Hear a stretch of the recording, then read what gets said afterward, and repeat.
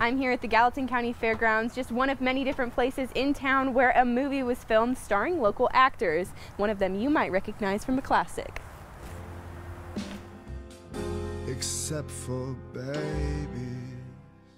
I, I made Dances with Wolves when I was 11 and 12, came out when I was 13, and have been fortunate enough to do a film or two a year since then.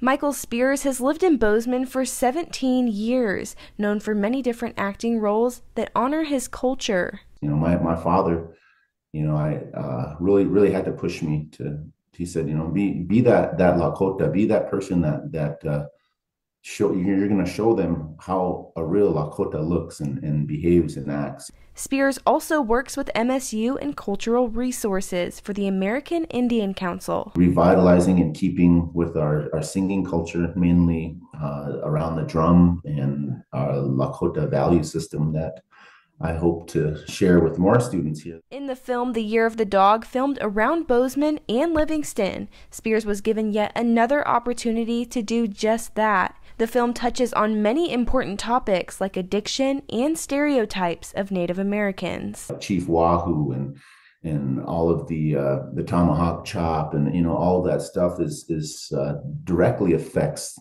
Native community today. Even you know our our uh, visibility and, and self esteem is something that uh, is is still vulnerable. Spears says it's important for Native Americans to look to the media and see accurate representation. I believe that keeping the the the integrity and keeping the truth alive is is very important. I'm looking forward to the uh, uh, the conversations it's going to spark. The Year of the Dog is an independent feature film written, produced, co directed, and acted in by Rob Grabow. He describes the film as a passion project. I sold my condo in Livingston to help finance this film. Um, because I believed in the story so much. The cast and crew pooled largely from Montana. Grabow says about 20 to 30 people from Bozeman were involved, and he calls this an honor. And that just like you know, to have my family from this area and so many of us from here, it just means so much to us. So we're really proud about that. Find out where the movie will be playing and how to purchase tickets by visiting our website. In Bozeman, Jolie Salee, MTN News.